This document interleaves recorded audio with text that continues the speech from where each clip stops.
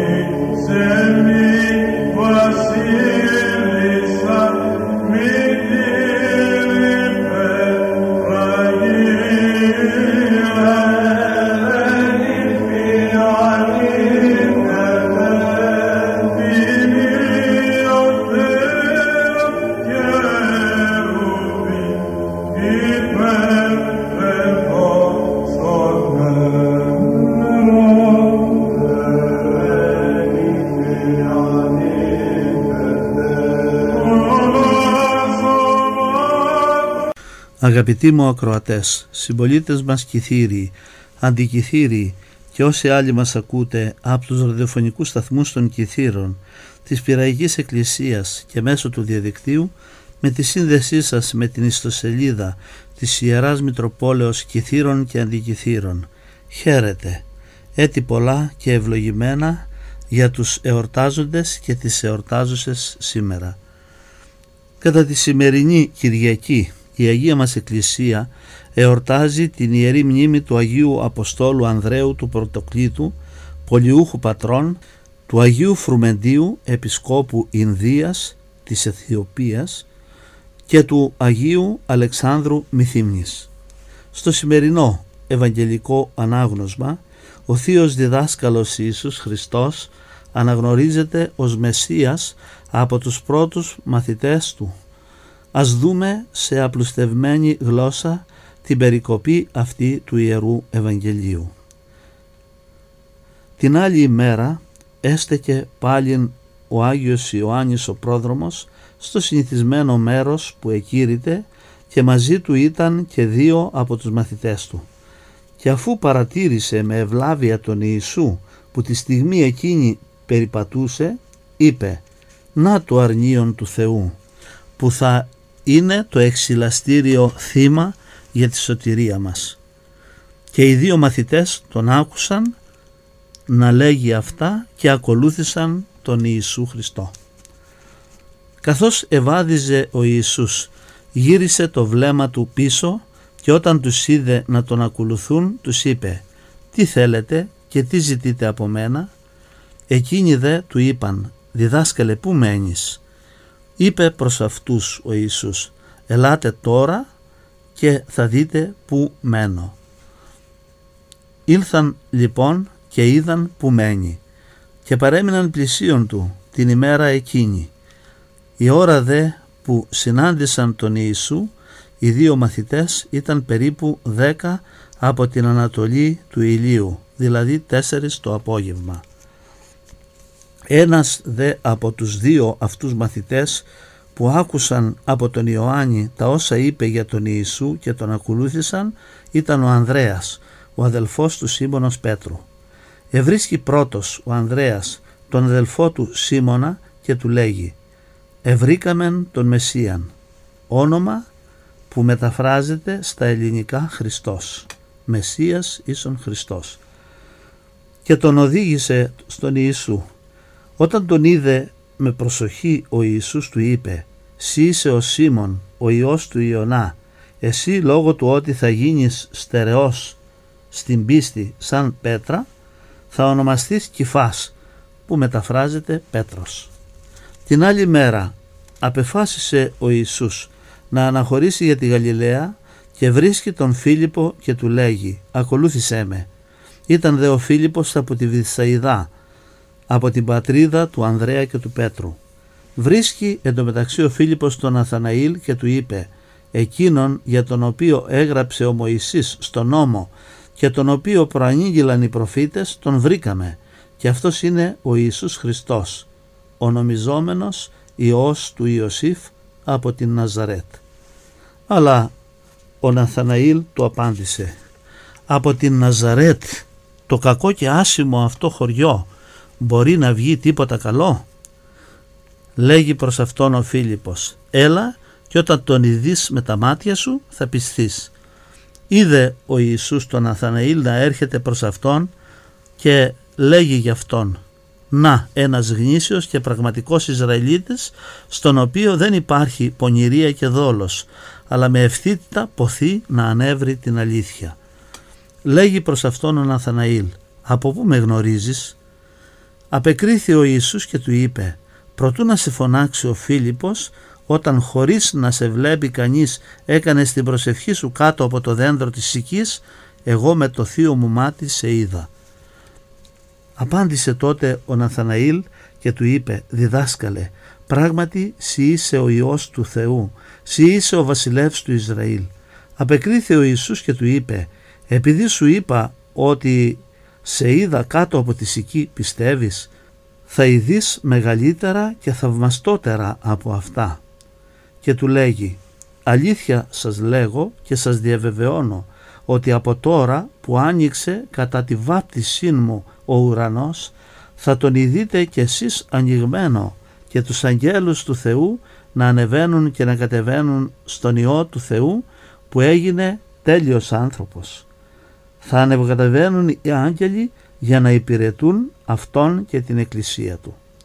Να κάνουμε φίλοι μου ακρατές ένα μουσικό διάλειμμα με εκκλησιαστικούς ύμνους και αμέσως θα συνεχίσουμε την εκπομπή μας.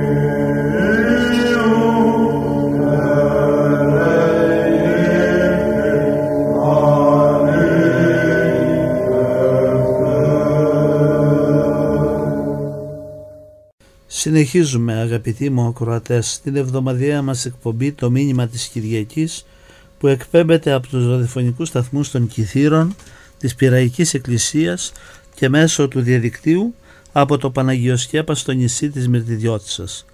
Μιλήσαμε μέχρι τώρα με αφορμή το σημερινό Ευαγγελικό Ανάγνωσμα για τη γνωριμία των Αγίων Αποστόλων Ανδρέα και Ιωάννη με τον Θείο Διδάσκαλο Ιησού Χριστό με την υπόδειξη του Αγίου Ιωάννου του Προδρόμου.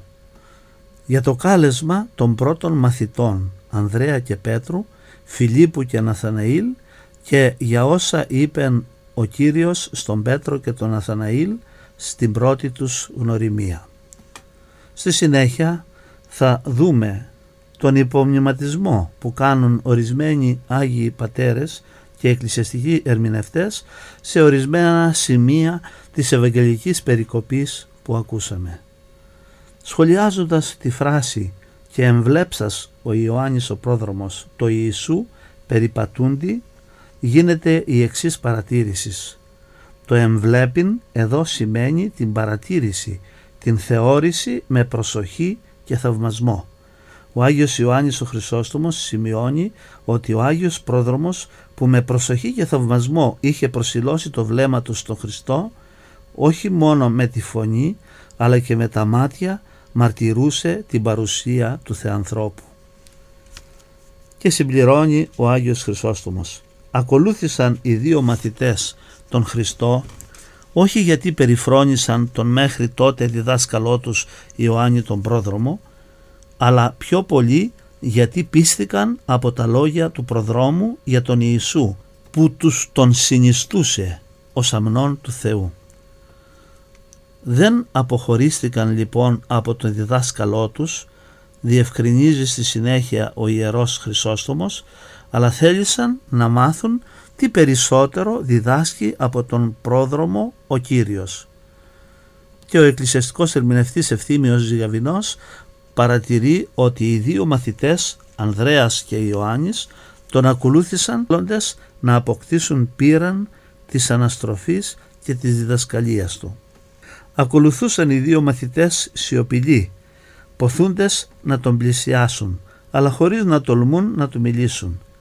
Κοίταξε τη σπουδή τους, λέγει ο Άγιος Ιωάννης ο Χρυσόστομος, που γίνεται με σεβασμό, γιατί δεν ήλθαν ευθέως να ερωτήσουν και να ζητήσουν κάτι από τον Ιησούν. Όταν ακολούθησαν τον Χριστό, τότε τους ερωτά ο Κύριος και σημειώνει ο Ιερός Χρυσόστομος από εδώ διδασκόμαστε ότι δεν χορηγεί ο Θεός τις θείες δωρεές Του με το να θέλουμε εμείς κάποια πράγματα, αλλά όταν εμείς κάνουμε την αρχή, όταν δώσουμε τη θέλησή μας, τότε και Αυτός πολλές δίνει σε μας τις αφορμές της σωτηρίας. Η ερώτηση του Θείου Διδασκάλου στους δύο μαθητές που τον ακολουθούσαν σιωπηλοί τι ζητείτε, σχολιάζει ο Άγιος Κύριλλος Αλεξανδρίας, απετέλεσε την αρχή και τη ρίζα του διαλόγου και της συνομιλίας που ακολούθησαν. Και ο Ζηγαβινός προσθέτει ότι έκανε την ερώτηση για να τους κάνει οικείους και να τους δώσει θάρρος. Ο δε ιερός Θεοφύλακτος συμπληρώνει τα εξής. Τους λέγει τι ζητάτε, όχι γιατί αγνοεί το αίτημά τους, γιατί πώς ήταν δυνατόν να συμβαίνει αυτό με τον Χριστό που γνωρίζει καλά τις καρδιές των ανθρώπων, αλλά για να τους παρακινήσει με την ερώτηση να υπούν αυτά που θέλουν. Τον ονομάζουν διδάσκαλο φανερώνοντας την αιτία για την οποία ήλθαν κοντά του και έτσι υποδηλώνουν ότι είναι μαθητές του. Και ο Ιερός Χρυσόστομος σημειώνει ότι δεν εφανέρωσαν μόνο τον πόθο με τη σιωπηρή συμπόρευση αλλά και με την ερώτηση «Διδάσκαλε, πού μένεις» γιατί ενώ τίποτε ακόμη δεν είχαν μάθει από αυτόν ούτε άκουσαν τον αποκαλούν διδάσκαλο. Του απευθύνουν το ερώτημα αυτό διότι ήθελαν να τον συναντήσουν ιδιαίτερα και με ησυχία. Και ο Άγιος Κύριλλος Αλεξανδρίας παρατηρεί ότι οι δύο μαθητές αξιώνουν να μάθουν την αιστεία, δηλαδή τον τόπο διαμονής του Θείου Διδασκάλου. Γιατί δεν επιχείρησαν, όπως ήταν εύλογο, τον λόγο της αναγκαίας πνευματικής οικοδομής να τον κάνουν πάρεργο και συνομιλία που γίνεται στο δρόμο. Οι μαθητές ερωτούν τον Κύριο που μένει με σκοπό να τον επισκεφθούν αργότερα. Αλλά ο Ιησούς δεν λέγει τα σημεία της κατοικίας του ούτε τον τόπο αλλά τους καλεί να τον ακολουθήσουν δείχνοντάς τους ότι τους αποδέχθηκε. Ο Ιερός Χρυσόστομος λέγει αυτά. Ο ίδιος Ιερός Πατήρ στην ενδεχόμενη ερώτηση πως σε άλλο σημείο λέγει ο Υιός του ανθρώπου δεν έχει που την κεφαλή κλείνε, που να κλείνει την κεφαλή του και εδώ καλεί τους δύο μαθητές να τον ακολουθήσουν για να ειδούν τον τόπο της διαμονής του, απαντά ο Ιερός Πατήρ. Το δεν έχει που να γύρει το κεφάλι του δηλώνει ότι δεν έχει καμιά δική του κατοικία, όχι ότι δεν κατοικούσε σε σπίτι. Και ο Ιερός Θεοφύλακτος συμπληρώνει «Αν λοιπόν έμενε σε κάποια οικία, δεν έμενε σε δική του, αλλά σε ξένη». Ο Άγιος Ιωάννης ο Χρυσόστομος συμπληρώνει ότι ο πόθος και η δίψα των δύο μαθητών να ακούσουν το Θείο Διδάσκαλο τους έκανε να μην αναβάλουν την επικοινωνία τους με Αυτόν.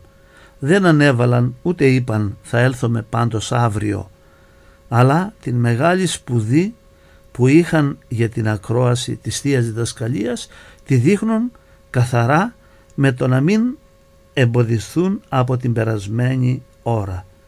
Και τούτο παρότι ο ήλιος πήγαινε για τη δύση του, γιατί η ώρα ήταν τέσσερις το απόγευμα.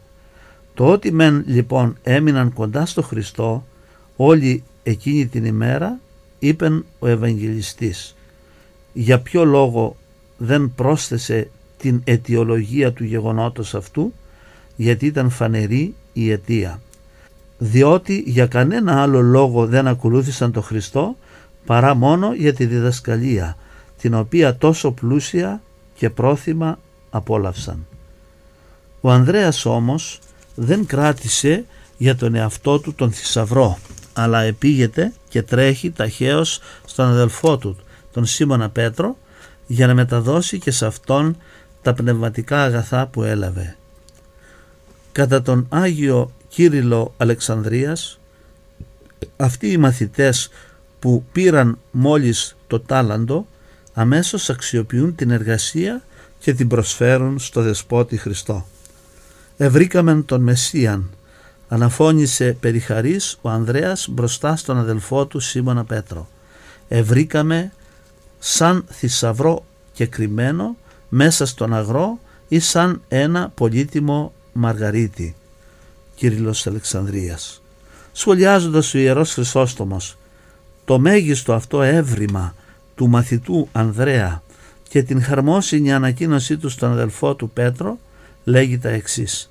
Αυτός ο λόγος προέρχεται από ψυχή που την απασχολούσε η παρουσία του Σωτήρος και προσδοκούσε την άφηξή του από τον ουρανό στη γη και έγινε περιχαρής αφού φανερώθηκε στη γη ο προσδοκόμενος Μεσσίας από ψυχή η οποία επήγεται να μεταδώσει και σε άλλους τα χαρμόσυνα Ευαγγέλια.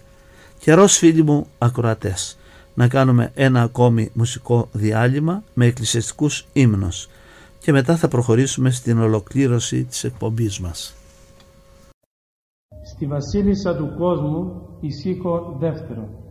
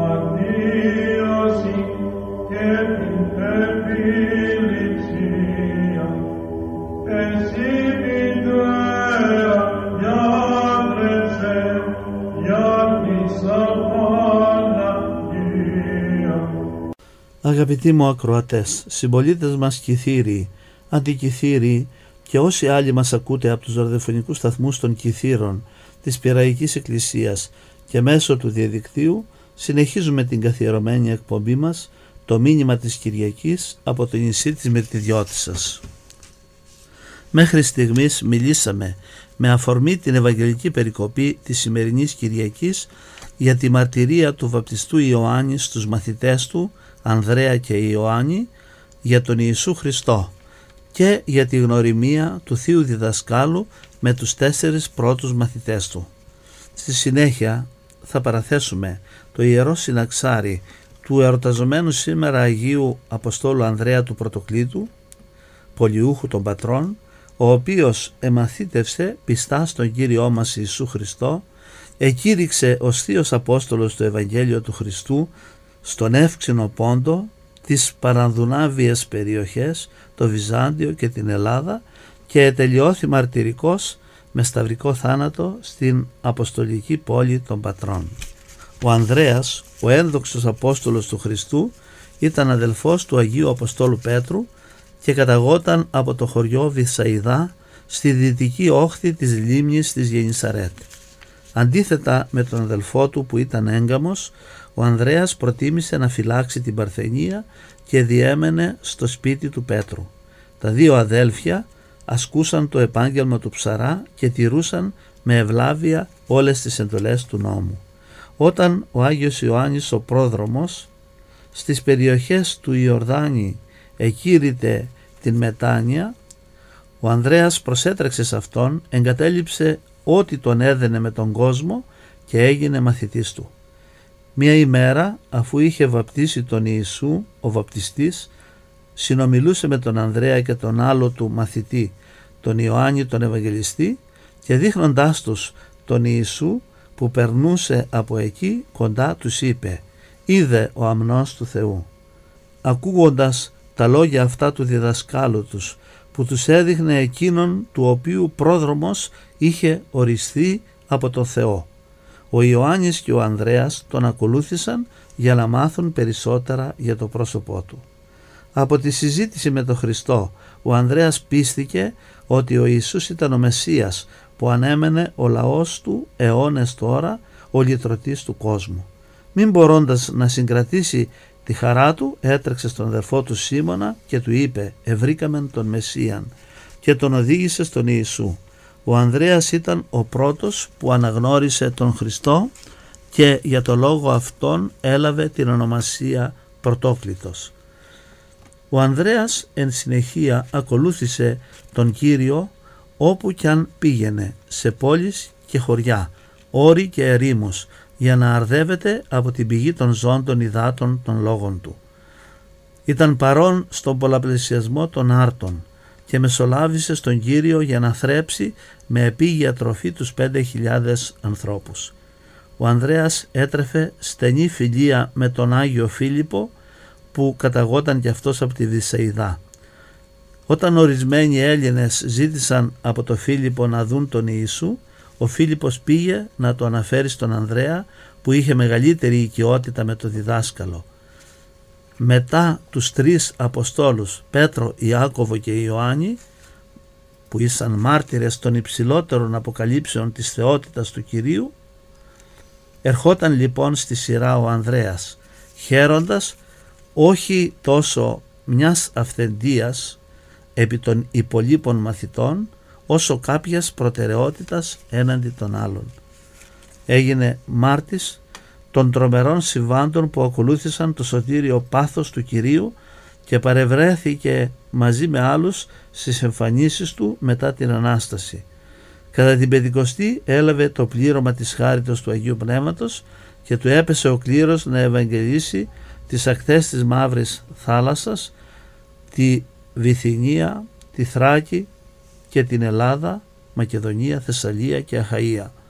Πιστός στις προτροπές του Κυρίου δεν πήρε μαζί του μήτε άργυρον, μήτε πήραν, μήτε ράβδον και πορεύθηκε για να κηρύξει το Ευαγγέλιο της σωτηρίας. Είναι αδύνατο να αναφέρει κανείς πόσες θλίψεις και πόσους κινδύνους αντιμετώπισε, στερήσεις κάθε είδους, ασθένειες, κινδύνους από ληστές, κακομεταχείριση από Εβραίους και ειδωλολάτρες. Όπου και αν πήγαινε όμως τον συνόδευε το Άγιο Πνεύμα. Μιλούσε με το στόμα του.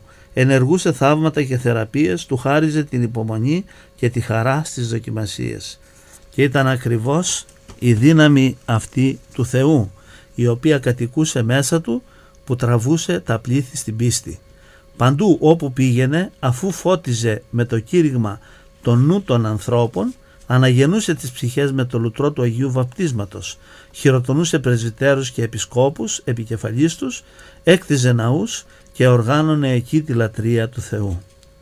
Μετέβη καταρχήν στην Αμισό, στις ακτές της Μαύρης Θάλασσας και μετέστρεψε εκεί πλήθος Εβραίων. Θεράπευσε δε με τη δύναμη του Θεού όσους υπέφεραν από διάφορες αρρώστιες. Εν συνεχεία, αφού συνέχισε την αποστολή του στην Τραπεζούντα και στην Λαζική επέστρεψε για το Πάσχα στην Ιερουσαλήμ. Από εκεί αναχώρησε με τον Άγιο Ιωάννη το Θεολόγο για την Έφεσο και ευαγγέλισε για κάποιο χρονικό διάστημα τις δυτικές περιοχές της Μικράς Ασίας.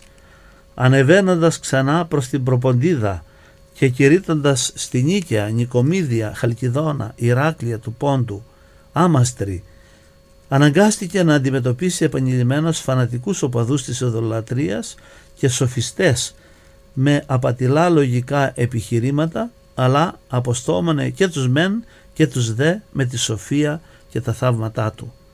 Φτάνοντας στη Συνόπη ελευθέρωσε με την προσευχή του τον Απόστολο Ματθία από τις αλυσίδες του αλλά συνελήφθηκε αυτός με τη σειρά του απομενόμενος ειδωλολάτρες και υποβλήθηκε σε πολλά βασανιστήρια τον έριξαν κατά γης, τον χτυπούσαν όλοι μαζί, του έκοψαν μάλιστα και ένα δάχτυλο με τα δόντια. Σε όλες αυτές τις δοκιμασίες ο Άγιος Ανδρέας δεν προσπάθησε μήτε να φύγει, μήτε να αντισταθεί, αλλά τα υπέμεινε όλα μιμούμενος στο διδάσκαλό του, τον αμνό του Θεού, ο οποίος ήλθε στη γη για να υποφέρει και να άρει τις αμαρτίες του κόσμου. Στο θέαμα της σταθερότητάς του, της μακροθυμίας του απέναντι στους δημίους του και βλέποντας το πλήθος των θαυμάτων του οι κάτοικοι της Συνόπης μετανόησαν, του ζήτησαν συγχώρηση και έλαβαν το Άγιο Βάπτισμα. Και αφού εγκατέστησε επίσκοπο και πρεσβυτέρος στη Συνόπη, ο Απόστολος αναχώρησε για τις πόλεις του Πόντου, τις οποίες είχε ήδη ευαγγελίσει για να στερεώσει την πίστη τους συνέχισε το κήρυγμά του και αντέκρουσε τους φιλοσόφους ειδωλολάτρες στην Νεοκυσάρια και τα Σαμόσατα κατόπιν δε πήγε ξανά στην Ιερουσαλήμ για τη Σύνοδο των Αποστόλων που συνεκλήθη για το θέμα του τρόπου εισδοχής των πρώην ειδωλολατρών στην Εκκλησία. Μετά την εορτή του Πάσχα συνόδευσε για κάποιο διάστημα τον Μαθία και τον Θαδαίο προς τις εσχατιές της Μεσοποταμίας και ξεκίνησε να ευαγγελίσει τις βάρβαρες περιοχές ανατολικά της Μαύρης Θάλασσας νοτίως της σημερινής Ρωσίας, Κρυμαία, Νότια Ουκρανία. Κατόπιν κατέβηκε πάλι προς τη Θράκη και φώτισε με το κήρυγμά του τις καρδιές των κατοίκων της μικρής πόλεως του Βυζαντίου. Έκτισε εκεί ένα ναό αφιερωμένο στη Θεοτόκο και άφησε ως επίσκοπο τον Άγιο Στάχη που εορτάζει 31 Οκτωβρίου. Έναν από τους 70 μαθητές. Συνέχισε την ακάματη περιοδία του στη Θράκη, Μακεδονία και Θεσσαλία και έφτασε μέχρι την Πάτρα στην Πελοπόννησο. Στην Πάτρα ο Άγιος Απόστολος μετέστρεψε την ίδια τη σύζυγο του Ρωμαίου Ανθίπατου, την Μαξιμίλα, θεραπεύοντάς την από ανίατη ασθένεια. Επιδαψίλευσε τις αγαθοργίες του και στους άλλους κατοίκους και συγκρότησε γρήγορα μια κοινότητα μαθητών του Χριστού. Κατά την απουσία του Ανθίπατου Αιγιάτη μετέστρεψε επίσης και τον αδελφό και αντικαταστάτη του, τον Στρατοκλή. Ο Αιγιάτης επέστρεψε εξοργισμένος με την πρόοδο του χριστιανισμού που είχε φτάσει μέσα στο ίδιο του το σπίτι και διέταξε να συλληφθεί ο Απόστολος Ανδρέας. Από τη φυλακή του ο Ανδρέας συνέχισε το κήρυγμά του και χειροτώνησε τον Στρατοκλή, τον αδελφό του Αιγιάτη, επίσκοπο πατρών. Λίγες ημέρες αργότερα εξεδόθη η καταδικαστική απόφαση δίχως δίκη και ο Άγιος σταυρώθηκε ανάποδα. Με πόση χαρά δέχθηκε να μιμηθεί το Χριστό ακόμη και στον τρόπο θανάτου υπέρ αυτού. Αφού συγκράτησε τους φίλους του που ήθελαν να το σώσουν, ο Ανδρέας ευλόγησε για τελευταία φορά τους πιστούς και παρέδωσε το πνεύμα. Σύντομα ο Ανθίπατος υπέστη βίαιο θάνατο ως τιμωρία για την ανομία του ενώ ο νέος επίσκοπος Στρατοκλής, ο αδελφός του, αφού μοίρασε την περιουσία του στους στοχούς, ανοίγειρε καθεδρικό ναό στον τόπο όπου μαρτύρησε ο Απόστολος Ανδρέας. Πολλά χρόνια μετά, στις 3 Μαρτίου του 357, τα τίμια λείψανα του Αγίου μετέφερε από την Πάτρα στην Κωνσταντινούπολη ο Άγιος Αρτέμιος με διαταγή του Κωνσταντίου, γιου του Αγίου Κωνσταντίνου. Εναποτέθηκαν μαζί με εκείνα του Αγίου Λουκά και του Αγίου Θαδαίου στην νεόκτιστη τότε εκκλησία των Αγίων Αποστόλων. Πέντε αιώνες αργότερα επέστρεψαν στην Πάτρα, σταλμένα από τον Βασίλειο πρώτο των Μακεδόνα, ένατος αιώνας. Εν συνεχεία, μπροστά στην απειλή της τουρκικής εισβολής στην Πελοπόννησο, προσφέρθηκαν στον Πάπα της Ρώμης Πίο δεύτερο από τον δεσπότη του Μορέως Θωμά Παλαιολόγο το 1460. Η κάρα του Αγίου επέστρεψε τέλος στην Πάτρα στις 26 Σεπτεμβρίου 1964 με τις ενέργειες του μετέπειτα Μητροπολίτου Ήδρας Πετσών και Αιγίνης κυρίου Ιεροθέου ο οποίος τότε διακονούσε ως πρωτοσύγγελος πατρών και έκανε όλη τη διαδικασία για να επιστραφεί η Αγία Κάρα του Αγίου Ανδρέου στην Πάτρα προς χαρά και παρηγορία των πιστών Ορθοδόξων. Αγαπητοί μου ακροατές, έπειτα από τη γνωριμία και την πνευματική σύνδεση των τεσσάρων πρώτων μαθητών με τον Σωτήρα Χριστό, ύστερα από την μεγάλη επίδραση του Θείου Προσώπου και της Θείας Αποστολής του Κυρίου μας στα πρόσωπα των μαθητών και Αποστόλων του και μετά από το μεγάλο και σπουδαίο αποστολικό έργο, τη μαρτυρία και το σταυρικό μαρτύριο του Αγίου Αποστόλου Ανδρέα που γιορτάζουμε σήμερα, το μήνυμα της σημερινής Κυριακής είναι να είμαστε ενωμένοι με τον Θείο Λυτρωτή μας Ιησού Χριστό και την Αγία μας Εκκλησία αφού ως μέλη της Εκκλησίας είμαστε σώμα Χριστού με κεφαλή τον ίδιο τον Χριστό. Να μας αξιώσει ο Πανάγαθος Θεός να το λέμε βιωματικά και να το εννοούμε υπαρξιακά πως ευρήκαμεν τον Μεσσίαν Χριστόν και να τον έχουμε με τη χάρη του Παναγίου Πνεύματος κατοικούντα και μένοντα μέσα στην ύπαρξή μας, στην κοινωνία μας, στο έθνος μας και σε όλο τον κόσμο. Χαίρετε αγαπητοί μου ακροατές. Χρόνια πολλά και ευλογημένα σε όλους.